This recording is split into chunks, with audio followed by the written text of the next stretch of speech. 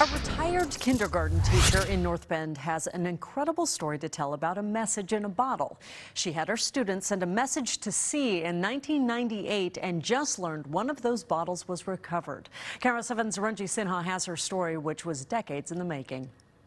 It was worth the wait. It was so exciting. It gives me shivers to think that, wow, it actually happened. Mary Lee Johnson has a message about what's possible since her message in a glass bottle took an almost impossible journey. And it floated for 21 years, apparently, because the bottle was in beautiful shape. In an era of instant messages, a letter from this 1997 98 kindergarten class traveled and reached Hawaii on ocean currents. And my husband was sailing the Pacific Cup that year. It all started with a race from California to Hawaii. Johnson, seen here with her afternoon kindergarten students, wanted them to be a part of her husband's race. She figured a message in a bottle made sense. She explained it to her students, and they came up with questions for whoever found it. Do you have cats? Are you near a volcano? Is there gold where you are?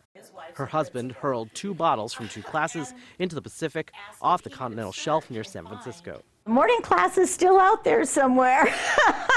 One bottle found its way to a small island in the Pearl and Hermes Atoll. A NOAA fisheries researcher blogged about the find. The letter that Mary Lee Johnson still has a copy of and a class photo survived the trip.